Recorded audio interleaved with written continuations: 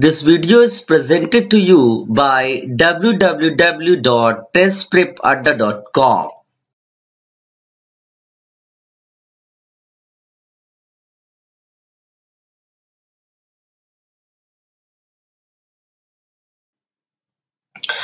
Dear students, here we will talk about solutions of some standard trigonometric equations.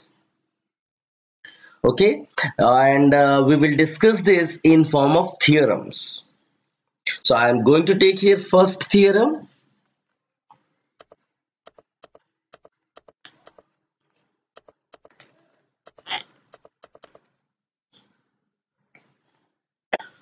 For any real numbers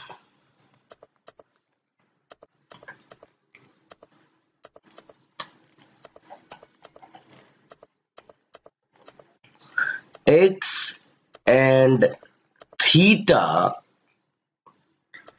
sin x is equal to sin theta implies x is equal to n pi plus minus 1 to the power n theta where n belongs to integers okay? So theorem says for any real numbers x and theta sin x is equal to sin theta implies x is equal to n pi plus minus 1 to the power n theta where n belongs to integers. We will prove this theorem here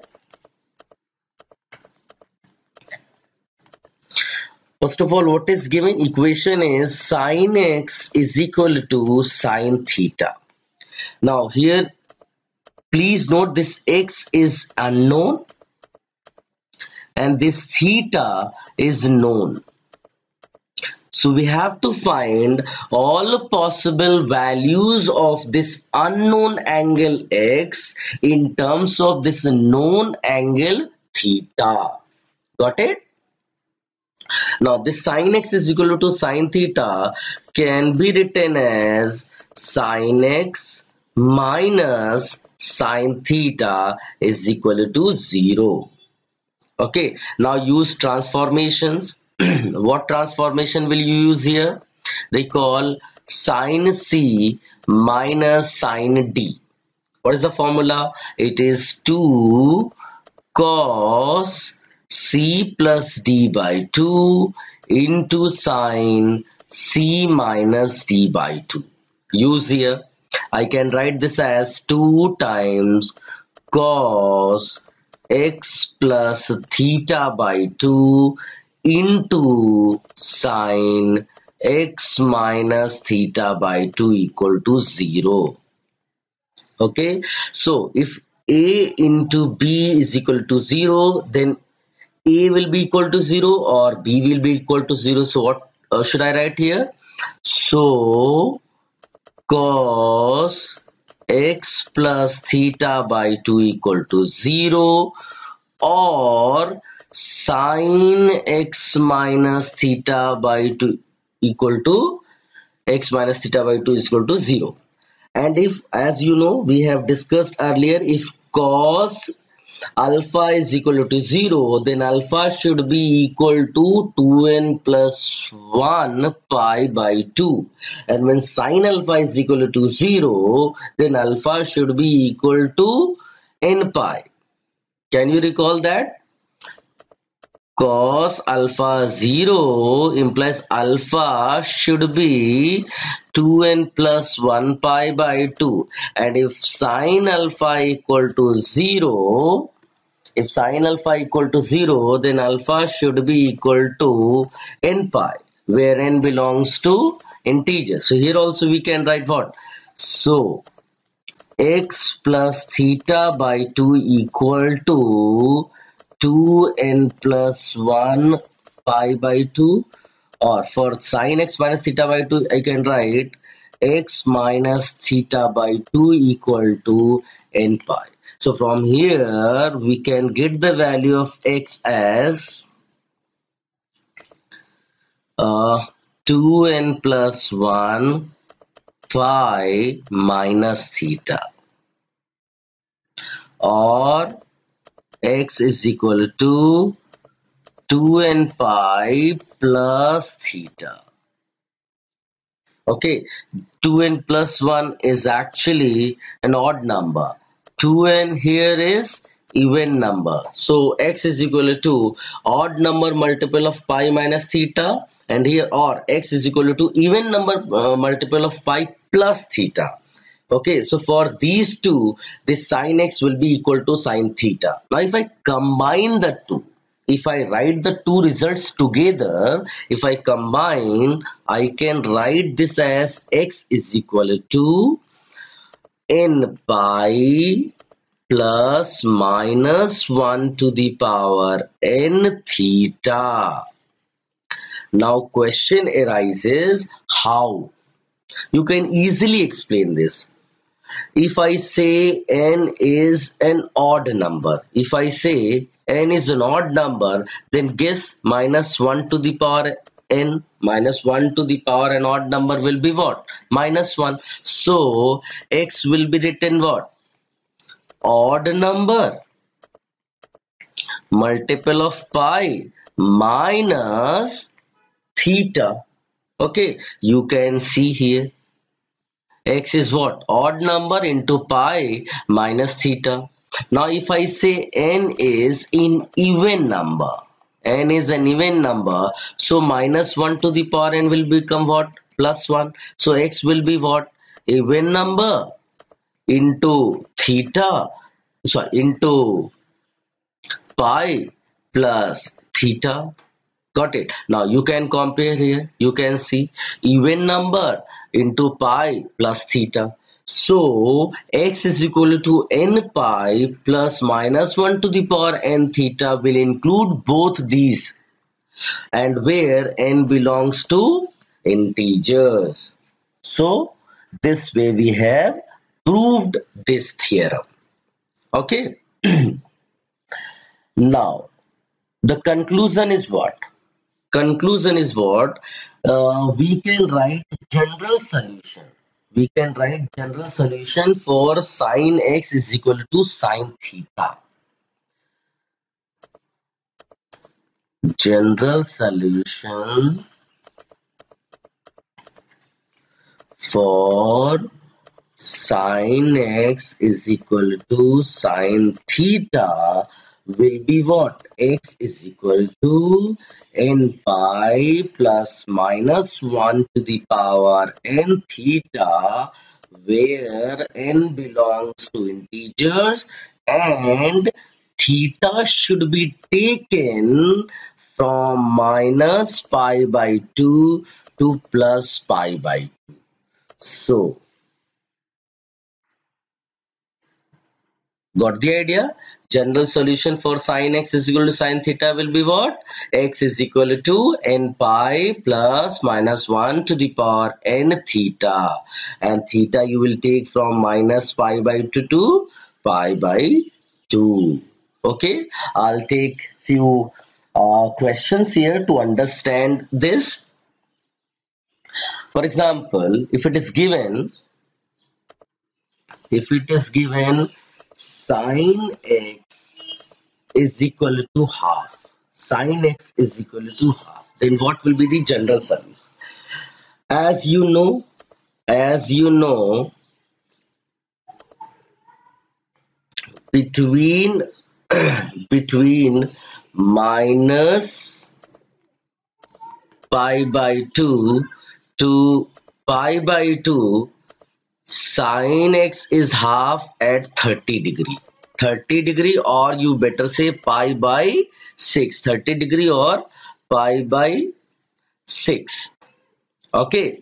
So uh, general solution for this will be what? X is equal to as you see here x is equal to n pi plus minus 1 to the power n pi by 6 okay where n belongs to integers so this is the general solution for sine x is equal to half Now, if I if I talk about the principal solutions, what is the interval for principal solution? Principal solutions will be from what? 0 to 2 pi. Principal solution should be taken uh, from 0 to 2 pi. So if I put here n as 0, my x comes as pi by 6. If I put n as 1, then x comes as pi minus pi by 6, that is 5 pi by 6.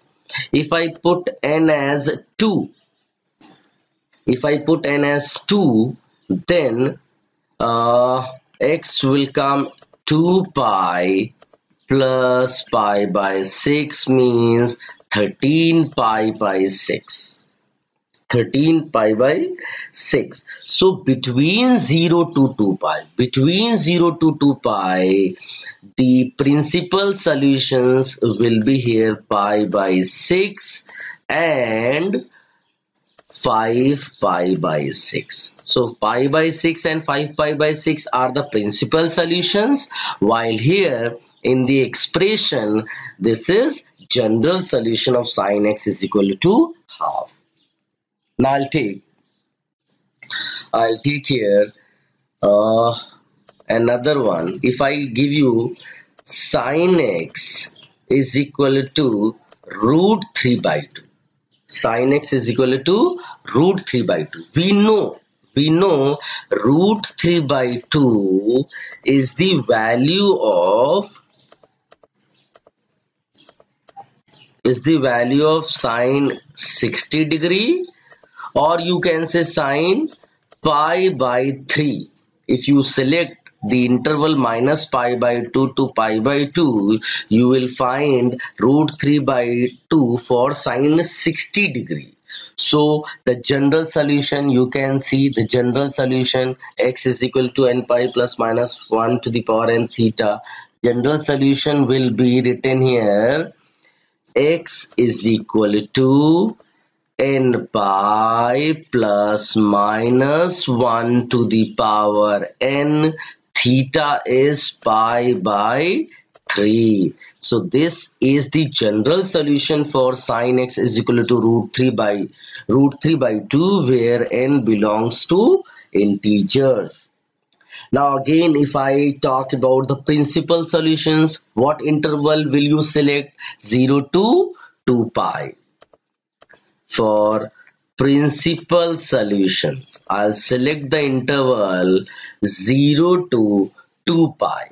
Now if I try to find few values if I write n as 0 my x comes as pi by 3 if I write n as 1 my x comes as pi plus uh, pi minus pi by 3 and that comes 2 pi by 3 if I write x as uh, sorry n as 3 then my x comes as uh, 3 pi minus pi by 3 if I write n as 2 then x comes as 2 pi plus pi by 3 every time uh, you can get the values. Now principal solution will lie between 0 to 0 to 2 pi. 0 to 2 pi. You can see one is pi by 3 and one is 2 pi by 3 so principal solutions for sine x is equal to root 3 by 2 will become what? Pi by 3 and 2 pi by 3 okay?